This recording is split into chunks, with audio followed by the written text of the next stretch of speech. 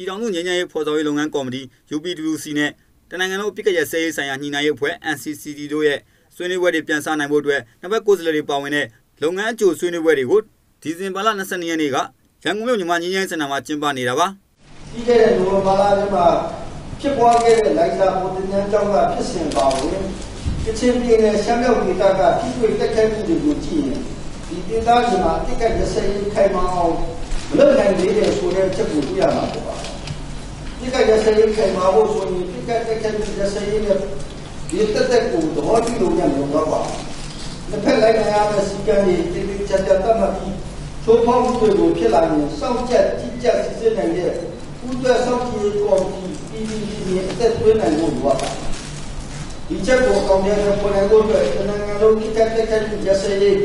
ဝတ်ဒီချက်ကိုလိုအပ်ပါ တနိုင်ငံလုံးဆိုင်ရာပြည်ကရစဲရေးအတွက်ဆက်လက်ဆွေးနွေးမဲ့ပြည်စမမှုကျန်းဆွေးနွေးပွဲမှာဆွေးနွေးဖို့ကြံရှိနေတဲ့အချက်တွေကိုနှစ်ဘက်ကိုယ်စားလှယ်တွေပွင့်လင်းလင်းညှိနှိုင်းဆွေးနွေးကြမှာဖြစ်ပါတယ်။ဒီ NC လုံးဝဆိုင်ရာဒီနိုင်အစည်းအဝေးမှာလည်းနှစ်ဖက်အကြဆက်တဲ့ဒီနိုင်ကိုသဘောတူထားကြတဲ့ဖွင့်တဲ့ပြည်သူဆွေးနွေးပွဲစတင်ဖို့အဲ့ဒီအလုပ်ပဲဆွေးနွေးပွဲမှာတပ်ပိုင်းဆိုင်ရာကိစ္စတစ်ဖက်ကလည်းလိုက်နာကြမယ်အပြစ်ခရဆေးဆိုင်ရာစီမီစီကံနဲ့ ပူးရဲစောက်ကြည့်ရေးပုံစံဆက်တဲ့အကြောင်းအရာတွေအခြေခံတဲ့ဆွေးနွေးပွဲတွေဖြစ်ပေါ်ဖို့လည်းမှန်တယ်လို့သူဆိုလို့တယ်တနိုင်ငံလုံးဆိုင်ရာပြည်ကရဲစဲရေးသဘောတူညီချက်မှတစ်ဆင့်နိုင်ငံရေးတွဲဆောင်ဆွေးနွေးဖို့မူပေါင်းတွေချမှတ်နိုင်ပြီးနိုင်ငံရေးသဘောတူညီချက်တွေရရှိတဲ့ဒီတနိုင်ငံလုံးပြည်ကရဲစဲရေးညှိနှိုင်းရေးအဖွဲ့ NCCD ကအထူးကဒါဆောင်ရွက်သွားမယ်လို့ NCCD အဖွဲ့ဒုတိယကောင်ဆောင်ပရိုဆွဲခွဲထူးဝင်ကအဖွင့်မှစကားမှာထည့်သွင်းပြောကြားသွားပါတယ်တနိုင်ငံလုံးပြည်ကရဲစဲရေးအတွက်ငင်းရဲဆွေးနွေးပွဲတွေပြန်ဆနိုင်ဖို့ NCCD နဲ့ UPWC တို့ရဲ့နှစ်ဖက်ကိုယ်စားလှယ်တွေပါဝင်တဲ့ လုပ်ငန်းအကျိုးဆွေးနွေးပွဲကိုနေရာတာဆွေးနွေးမှာဖြစ်ပြီး